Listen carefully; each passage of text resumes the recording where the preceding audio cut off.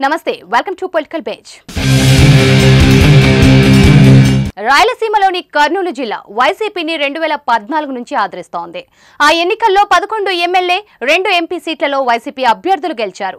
ఇక ఈ రెండు వేల పంతొమ్మిది అసెంబ్లీ ఎన్నికల్లో ఏకంగా కర్నూలు జిల్లాలో వైసీపీ క్లీన్ స్వీప్ చేసింది.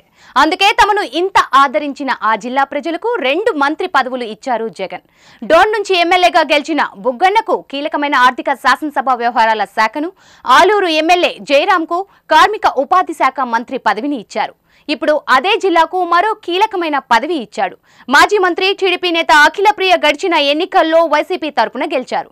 అయితే టీడీపీ అధినేత చంద్రబాబు ఆపరేషన్ ఆకర్ష్కు గురై ఆ పార్టీలో చేరి మంత్రి పదవి అనుభవించారు. అయితే అఖిలప్రియ రాకతో అప్పటి వరకు వారి ప్రత్యర్థులుగా టీడీపీలో ఉన్న గంగుల కుటుంబం వైసీపీలో చేరింది. ఈ ఎన్నికల్లో గంగుల బీజేందర్ రెడ్డి అఖిల ప్రియను చిత్తుగా ఓడించారు. తాజాగా జగన్ శాసన మండలి ప్రభుత్వ విప్ పదవిని గంగుల ఫ్యామిలీకి ఇచ్చారు. ఆలగడ్డకు చెందిన గంగుల ప్రభాకర్ రెడ్డికి శాసన మండలి విప్ పదవిని కేటాయించారు. ఈయన వైసీపీ ఎమ్మెల్సీగా కొనసాగుతున్నారు. కేబినెట్ హోదా ప్రోటోకాల్ ఉన్న ఈ పదవిని కేటాయించడంతో గంగుల ఫ్యామిలీ హర్షం వ్యక్తం చేస్తోంది. ఇక భూమా అఖిల ప్రియకు ఇది గట్టి షాక్ గానే చెప్పవచ్చు.